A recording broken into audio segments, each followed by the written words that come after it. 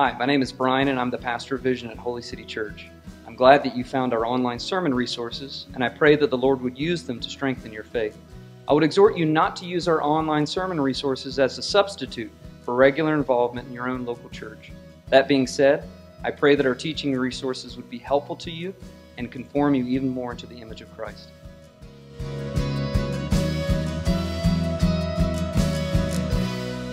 James chapter 5, verses 7 and 8. I'm going to read ahead through 12 for context. Be patient, therefore, brothers, until the coming of the Lord. See how the farmer waits for the precious fruit of the earth, being patient about it until it receives the early and the late rains. You also be patient. Establish your hearts, for the coming of the Lord is at hand. Do not grumble against one another, brothers, so that you may not be judged. Behold, the judge is standing at the door. As an example of suffering and patience, brothers, take the prophets who spoke in the name of the Lord. Behold, we consider those blessed who remain steadfast. You have heard of the steadfastness of Job, and you have seen the purpose of the Lord, how the Lord is compassionate and merciful.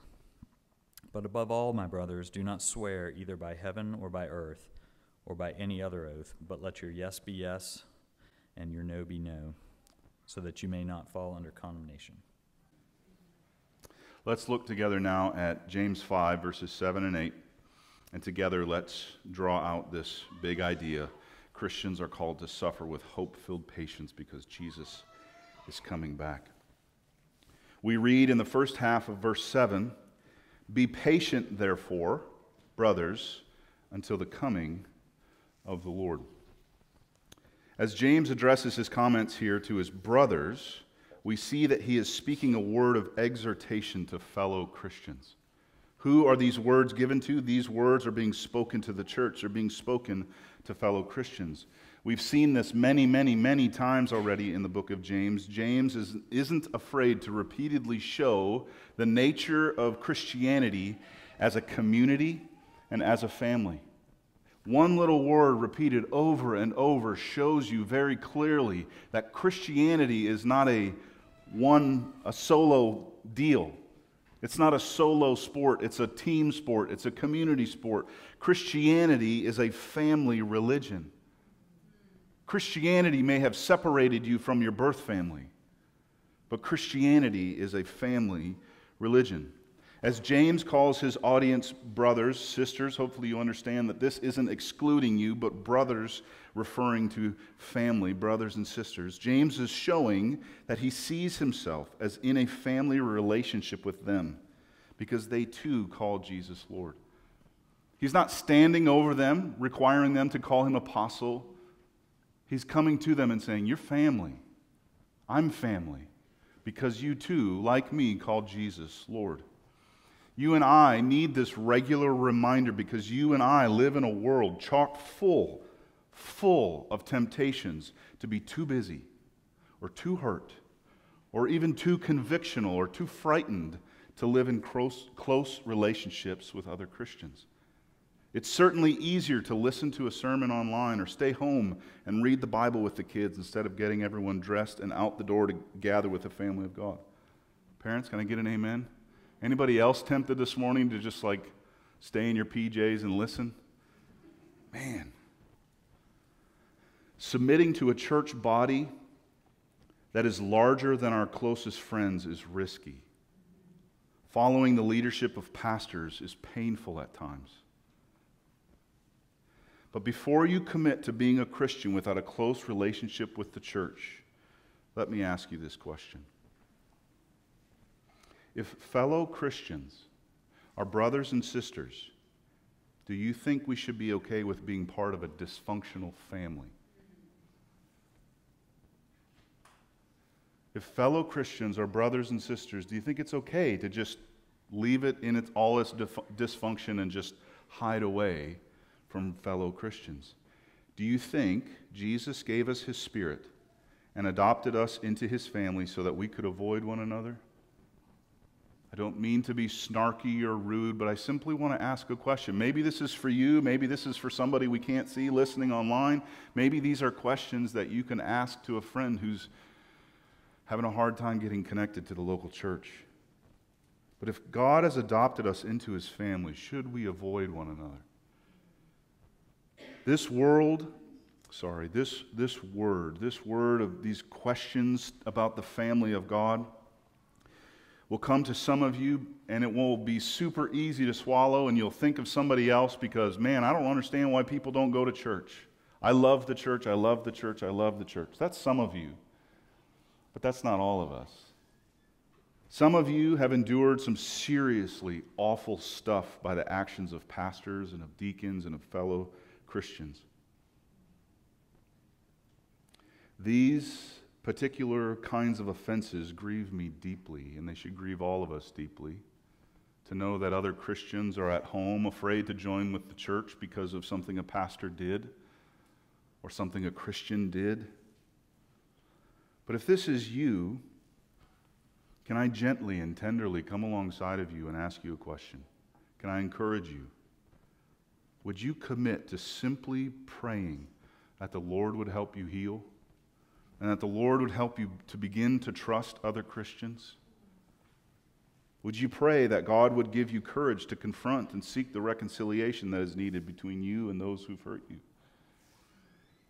Would you pray that God would lead you out of your hiding place and into a body of believers with which you can exercise your spiritual gifts? and receive the blessings of other people's believer, other believers' spiritual gifts? Would you pray that God would guide you to, the lo- to a local church in which you can partake in the Lord's Supper together with your brothers and sisters? Would you begin simply to pray that God would help you to join with those for whom Christ died? Would you pray that this particular church or the particular church down the road from you or, or the church you came from, would you pray that churches would be a healthy and safe family that lovingly works through their problems. Would you begin to pray at least? Would you begin to pray to that end? Please, don't get comfortable with a dysfunctional relationship with the church. God is in the business of adopting sinners into his family, and if Christ is our Lord, then each of us has a responsibility to love one another and work to improve the relationships in the church. Brothers and sisters, God has adopted us into his family, and our sin makes it dysfunctional at times. Just me and my wife and my four kids, we got issues sometimes. You put all of us together that we shouldn't be surprised when there are issues. But if we're not going to be a dysfunctional family, we're going to be a family that strives to unity as God has designed it, then we need to work and we need to pray and ask the Lord's help, knowing that He delights to give help for these kinds of things. James exhorts the family of God to be patient, but this impressive command is set within a context. And that the fact that this command is set within a context is clear because James uses the word therefore. James isn't telling the church without context to be patient in general. However, you perceive patience or however you are living, just be patient. That's not the kind of command that's coming here. James is telling his audience to be patient in the midst of suffering. Verse 7 directly follows a word of warning to the rich in verses 1 through 6. These words of judgment come upon the unbelieving rich in, because of their oppression and extortion of the working class Christians. Verse 4 says that these Christians did work for the rich, but they were defrauded and not paid. They worked and worked and worked and worked and worked and worked. And the person for whom they labored said, Yeah, not, you're not getting paid. Verse 6 says that these rich unbelievers were living in luxury and their luxury was achieved through the crushing of the weak and unresisting Christians. Verse 10, that we will look more closely at next week, makes clear that the patience James is commanding is a patience in suffering, as exemplified by the Old Testament prophets who endured great hardships as they obeyed God. The context of this command to be patient is clearly set within a context clearly spoken to a people who are enduring hardship, significant hardship that probably many of us have never had to face. Galatians 5 tells us that one of the fruits of the Spirit is patience. And this contented waiting is, will be seen in traffic and checkout lines and delayed packages. But James is here calling his fellow Christians to be patient while they are suffering violence and injustice.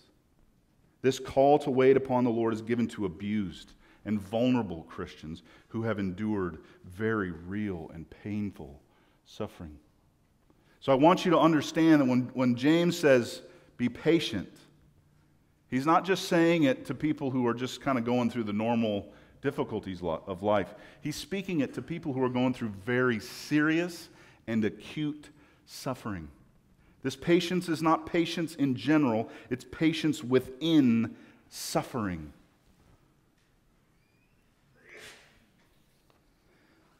Looking now at James's exhortation to his suffering family, James writes, Be patient until the coming of the Lord. Waiting is hard. And James here calls the church to wait for the Lord to bring justice when Christ returns to judge all people. The same idea was, giving, was given in the warning to the rich back in verse 4 when they were rebuked for having, quote, laid up treasure in the last days. And in verse 5, where their self indulgent living is expressed as having fattened their hearts in a day of slaughter. This language of the last days and the day of slaughter are referencing the day of judgment in which Jesus will settle accounts with the world. So, as James is encouraging the saints to look and to be patient and to wait for the coming of the Lord, as James is warning the rich for their sinful living, reminding them that Jesus will come and will set all things right, this is a very clear and striking awareness that, that James wants to bring to their mind that everyone should live in light of this return. James doesn't go into great detail, but just meditating on language like a day of slaughter or a day of the Lord should cause us to think, should cause us to hesitate. How often do you think at some point I'm going to stand before a Lord? and give an account for how I lived? How often do you think that the wicked in the world will stand before the Lord Jesus and he will execute justice perfectly? Paul tells us strikingly in 2 Thessalonians 1.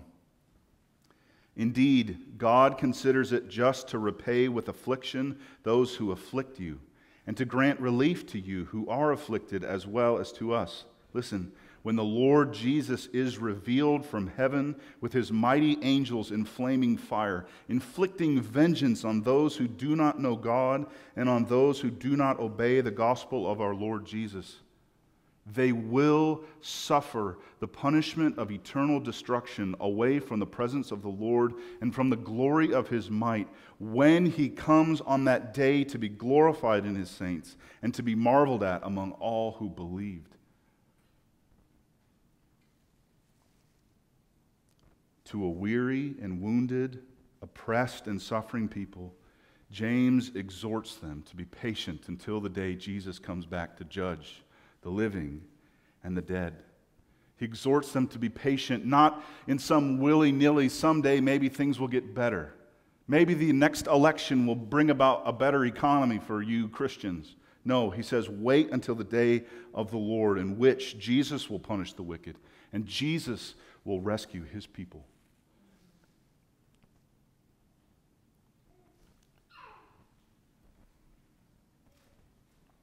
Think if we're reading this right,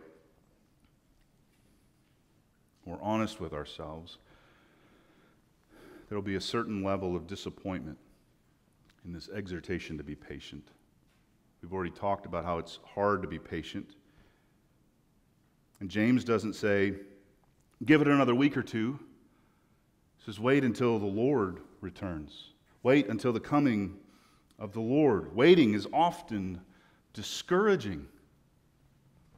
Right? That's what makes waiting for something hard, right? I had hoped my problems were going to end today or this week. I had hoped Jesus was going to answer my prayers immediately. But he didn't. And now I'm discouraged. We aren't a patient people. We don't wait well, do we? We don't wait well, even if it's only a few minutes for the oven to preheat. Waiting is hard. The original audience that James was writing to, like us, they didn't know when Jesus was coming back. They didn't know when that day was. They'd have been certainly tempted, like, James, any word from on high? Six months? What are we talking? 60 years? How, how, when is the Lord's day going to come? When is the Lord's return going to be? You can see why there's so much uh, anxiety in the disciples when Jesus is speaking about his second coming. Like, when, Lord? When is that going to be? Because I can wait patiently. Five minutes. Is it going to happen in the next five minutes? Is it going to happen in my lifetime? How long are we going to have to wait? The original audience that James was writing to, like us, didn't know when Jesus was coming back. They didn't know how long they were called to be patient. They didn't have a countdown timer to watch, and neither do we.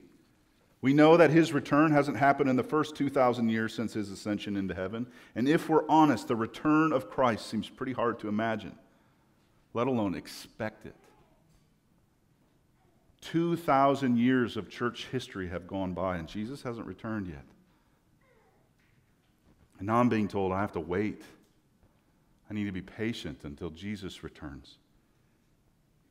The command to be patient isn't easy, and it's particularly hard when we don't know how long we have to wait. But James gives the analogy of a patient farmer to illustrate the kind of patient suffering Christians ought to have.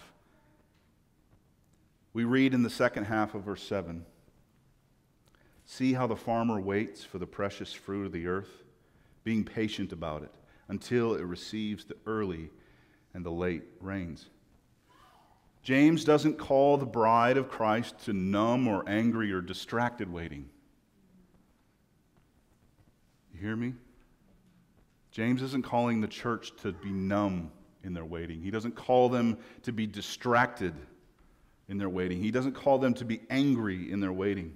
When we read these words, see how the farmer waits. We are being called to be excited we're being called to a confident, expectant, and joyful waiting. Waiting is hard, but James is calling us to look at the farmer who waits eager, excited, expectant, joyful, confident that the harvest will come. The farmer knows that God gives the precious fruit of the ground in due time. The farmer knows that important things are taking place out of sight, and, and he eagerly watches as those things begin to unfold above, unfold above the dirt. The farmer plants the seed and sees nothing, but he knows that nothing is not happening. He knows that beneath the surface of the dirt, something magical, something awesome, something every day and normal is happening as that seed is germinating. And then, as that becomes up out of the dirt, he can watch slowly as what he planted begins to grow.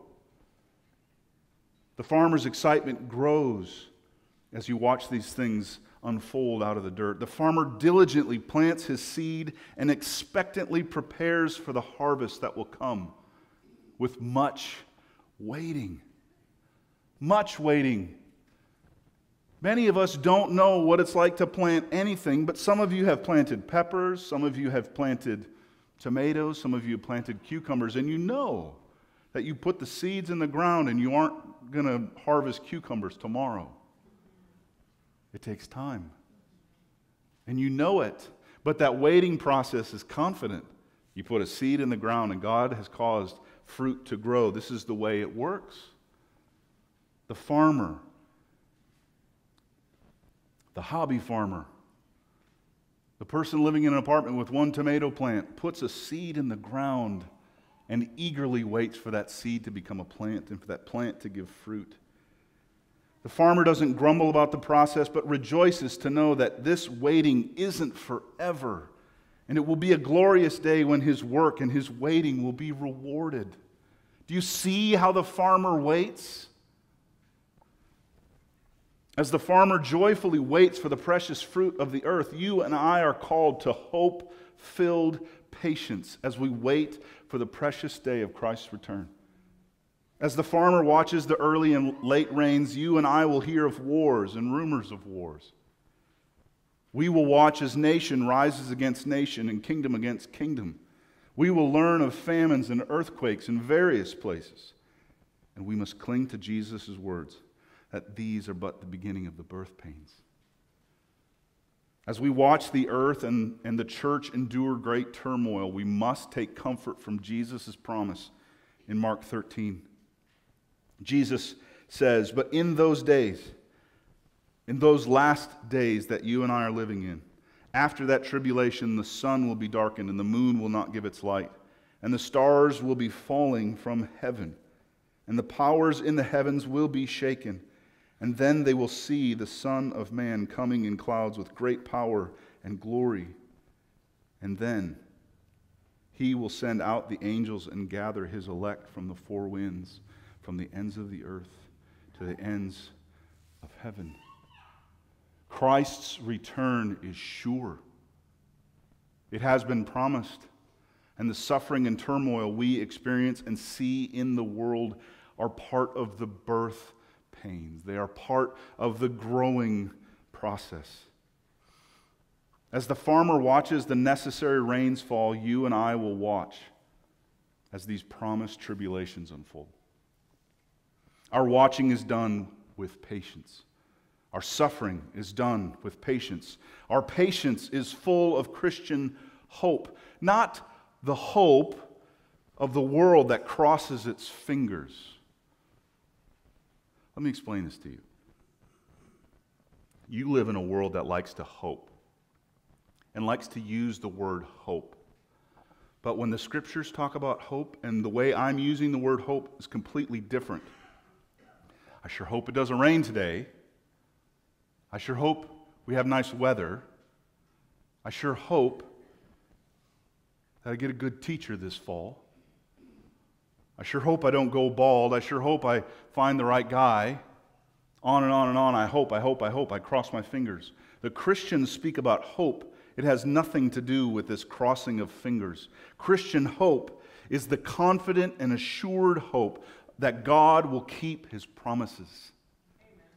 When the scriptures speak about hope, and as Christians, when we talk about hope, we look forward with confidence Zero crossing of fingers, zero hesitation because God has promised and we are waiting for that which we have hoped for. One day, all tears will be wiped away. Nothing to do with me crossing my fingers. Absolute certainty and hope because Christ has promised it. I'm waiting for something that's been promised. This is Christian hope. This is something the world has nothing to compare to. The world has no hope like this. But, Christian, when I'm talking about hope filled patience, I'm not talking about blind optimism. I'm talking about a sure and steady confidence that helps you be patient in the midst of suffering because Jesus has promised to make all things right in his time. Christian hope is not nervous optimism, Christian hope fills our patient suffering with the solid conviction that though we cannot see it, God is keeping his promises. The farmer doesn't plant and hope something grows. The farmer plants and he waits with hope, knowing that something will grow. And not something, precisely what he planted. This isn't the first time that James has encouraged this attitude of hope filled patience in hardship and trials. In chapter 1, verses 2 through 4, James writes Count it all joy, my brothers, when you meet trials of various kinds, for you know. Is he talking about crossing your fingers? You know. You know, you know, you have confidence that the testing of your faith produces steadfastness. Be patient or let steadfastness have its full effect that you may be perfect and complete, lacking in nothing.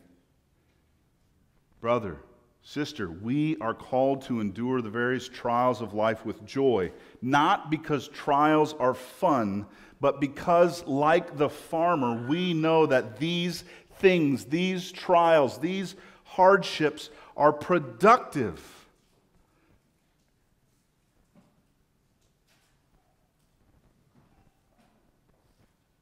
So often you are looking at the trials in front of you and you think, I hope something good comes out of this. This is not Christian hope. The Christian looks at the trials he's enduring and he says, I know beyond a shadow of a doubt that this is producing good in me. I know it. And because I know it, there's a joy. The Christian endures hardship not because it's fun. The Christian has joy in trials and sorrows, not because they're easy, but because the Christian knows that these trials are an essential part of our growth. There is no farming without waiting, and there is no growing into Christ likeness without patient endurance. In chapter 1, verse 12, James writes, Blessed is the man who remains steadfast under trial. Why? For when he has stood the test, he will receive the crown of life which God has promised to those who love him. Every one of us is tempted to hang it up, give up. I don't want to be in this trial anymore. I want something easier. Why should you be steadfast in the trial? Because when you have stood the test, you will receive the crown of life. There are no crown of life at Walmart. There's none at Target, there's none at Costco, there's none at Sharper Image. You can't get the crown of life anywhere except from Christ and through the process of being steadfast, clinging to his promises in the midst of your trials.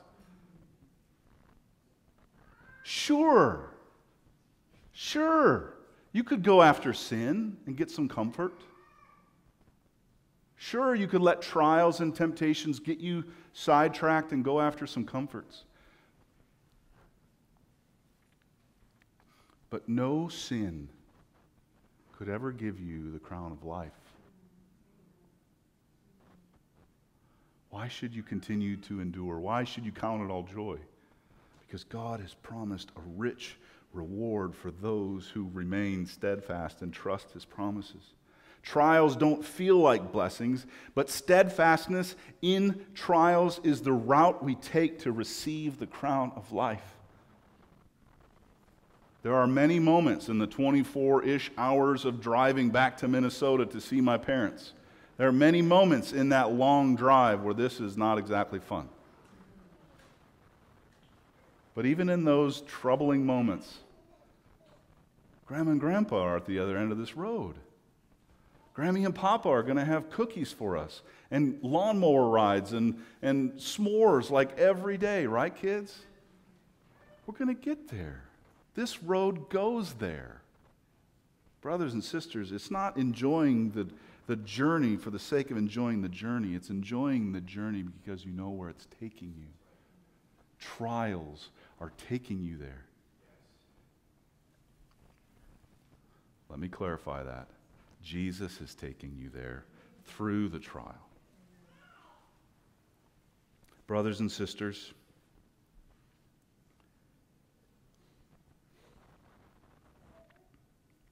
your difficult singleness,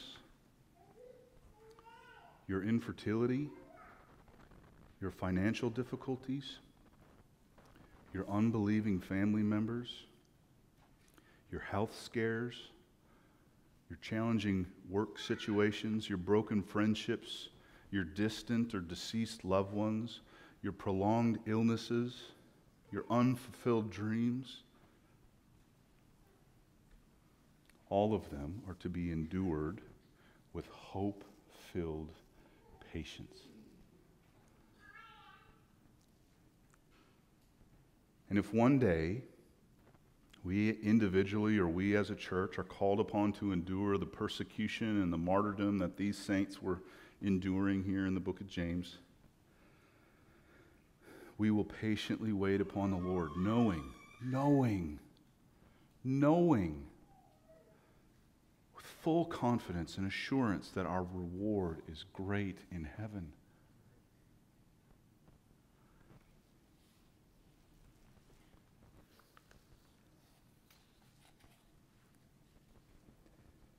I want to touch your hurts and apply the gospel directly to them. But if I haven't named your particular hurt, that doesn't mean it doesn't count.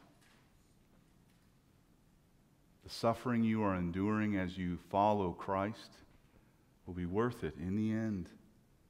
I assure you, according to the promises of God.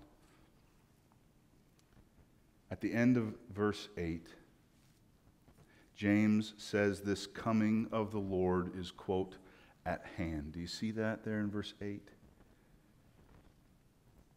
Every Christian and every generation of the church has been taught to live as if Christ may come at any moment. Understand that for 2,000 years, the church has been proclaiming the truth of Scripture that Christ and his coming is at hand. 2,000 years of church history might tempt us to think that the any momentness of Christ's return is a bit overstated.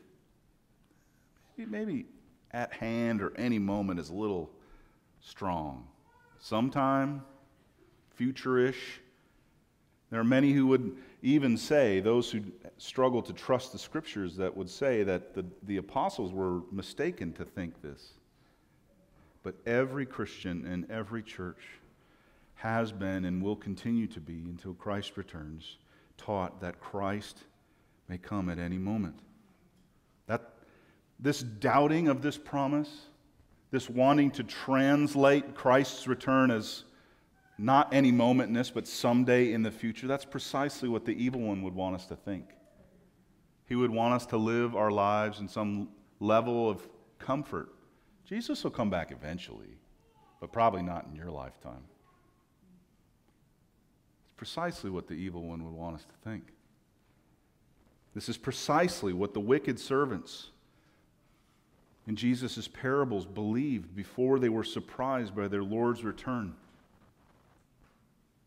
They saw that their master was late in coming, the scriptures tell us. And so they went about living as if they were Lord. And then when the Lord Jesus returned, they were filled with deep regret. And the scriptures tell us that upon his return, these servants were cast out into the place where there will be weeping and gnashing of teeth. In Matthew 3, John the Baptist came preaching, Repent, for the kingdom of heaven is at hand. In Mark 1, Jesus came preaching, The time is fulfilled and the kingdom of God is at hand. Repent and believe the gospel. In Romans 13, Paul declares, Salvation is nearer to us now than when we first believed. The night is far gone, the day is at hand. So let us cast off the works of darkness and put on the armor of light. Peter announced in 1 Peter 4 the end of all things is at hand. Therefore, be self controlled and sober minded for the sake of your prayers. The Apostle John records the words of Jesus in Revelation 22 20. Surely, Jesus says, I am coming soon. To which John exclaims, Amen. Come, Lord Jesus. The nearness and the at handness of Christ's return is not some obscure and difficult doctrine. You want to watch people squirm or get excited, start talking about end times or last things. But this particular issue, Christ's imminent return, is not obscure, it's not difficult, it's blatantly obvious. Jesus says, Surely I'm coming soon. This is not hard to understand. What do you mean by soon, Jesus? He doesn't answer that question. But it would be wise to believe that when he says soon, he means soon. It's, it's sad. It's a sad reality that we live among so many people who run around trying to discern what's the mark of the beast? Who, who exactly, who is this Antichrist? Maybe it's this president or that ruler. And others debate the nature of Jesus' millennial reign. At the same time, they are impatiently suffering and lo- living as if Jesus' re- return is some sort of complicated puzzle instead of a looming, pending, and imminent reality. Friends, we can think of the end times as something we got to get on a chart or something we need to burn the charts. Right? We can think of the end times as really complicated and what's your millennial position and so on and so forth and what's the role of Israel in the end times and we can get, go on and on and on and on and on. All the while living impatiently in our suffering without the clear awareness that Christ is coming soon. And I ought to endure patiently with hope. James calls the church to hope filled patience in suffering with joyful confidence in Jesus' any minute return.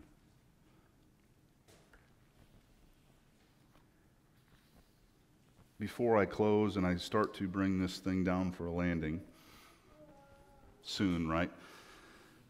Before I close, I want to highlight this second exhortation that James gives at the end of verse 8 the Holy Spirit instructs us through James. Understand that this isn't just some preacher, some apostle from a bygone era. This is the Holy Spirit speaking to you and me through the apostle James. And James writes to the church Establish your hearts, for the coming of the Lord is at hand. Lest we fall into thinking that our hope filled patience in suffering is a completely passive thing we are here challenged to the work of establishing or strengthening our hearts. James's audience was tempted to establish a personal kingdom or to strengthen their earthly situation through taking vengeance on those who had caused their suffering. You see that here, don't you? James's encouragement to be patient for the day of the Lord is an encouragement. Don't give in to the temptation to, to to exert your vengeance or to start a revolution to get your money back. James is calling them to wait and to not take vengeance. But in the midst of it, instead of starting a revolution or to uh, stir up a rebellion, he calls them to strengthen their hearts. You and I are tempted to establish our careers or strengthen our pleasures in the midst of suffering. We're tempted to impatiently take out our frustrations on others or to dive into the fetal position of self pity.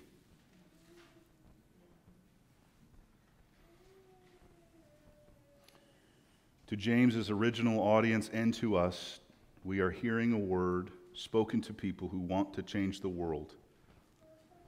But James charges them to change their minds and to strengthen their hearts by faith in Jesus' resurrection and coming kingdom that will finally finally and fully make all the wrongs righted and will heal all of the wounds. Brothers and sisters, we live in a world of people impatiently suffering and dreaming up their own utopias.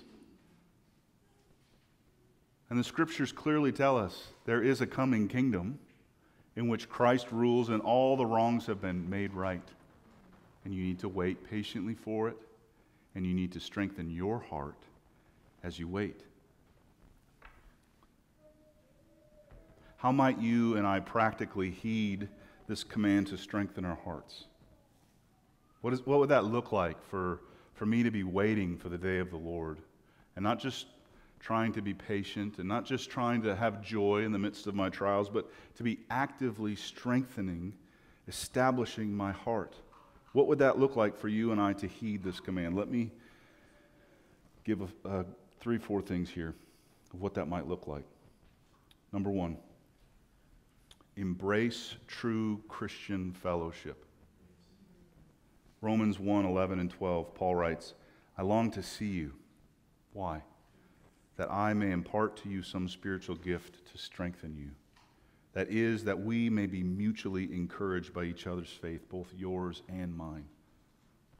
Paul says, I want to be together I'm sick of writing letters. I'm sick of Zoom prayer meetings. I want to be with you. And I want to encourage you, and I want to be encouraged by being with you. How can you be strengthened? Gather with the saints, and don't just gather and talk about the World Series or about how much work stinks, but encourage one another, give strength to one another. Number two, how can we strengthen our hearts as we patiently and confidently wait upon the Lord's return? Regularly meditate on the scriptures privately and publicly. Some of you love to come hear the scriptures preached and proclaimed, and you struggle to go home and read the scriptures and meditate on, on them yourself. Some of you love to go into your, your room by yourself and to read the scriptures alone, but you struggle to come and hear the word teach. But Romans 12, 2 says, Do not be conformed to this world, but be transformed. How? By the renewal of your mind, that by testing you may discern what is the will of God, what is good and acceptable and perfect.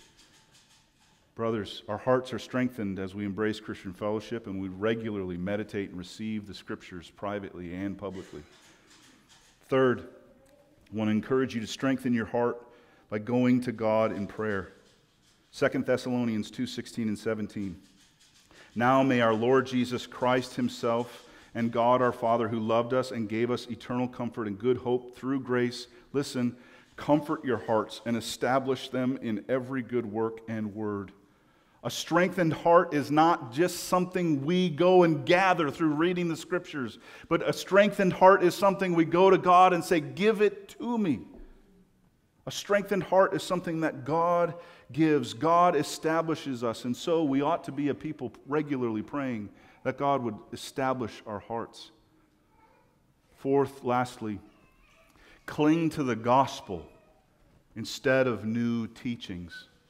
Hebrews 13 9 says, Do not be led away by diverse and strange teachings, for it is good for the heart to be strengthened by grace, not by foods which have not benefited those devoted to them. Brothers and sisters, as a pastor who watches you suffer and has watched a number of people suffer, there's great temptation for you to look for comfort in something you've not heard before.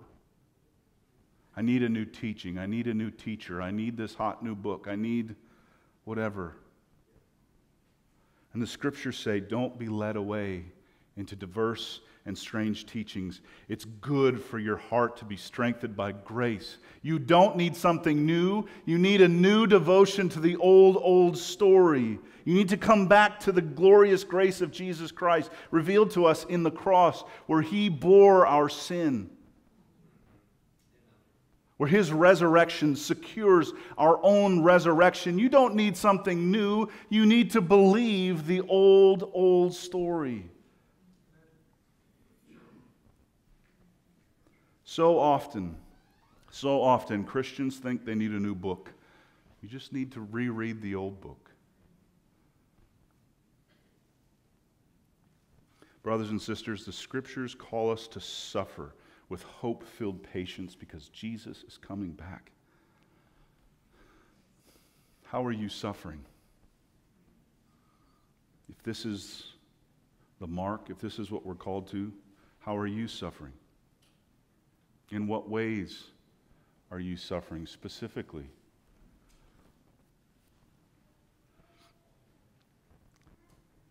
Are you patiently waiting on the Lord's timing?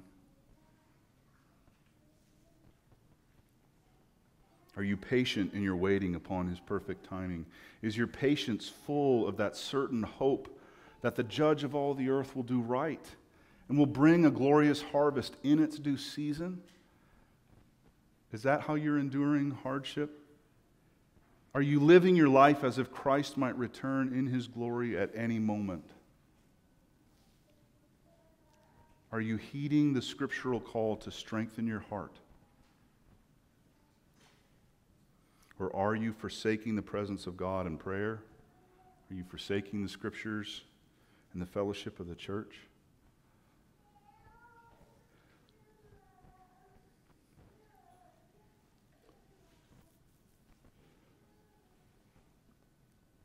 I'm aware that these are words spoken to sufferers and that these are words spoken to a room full of people who are already struggling.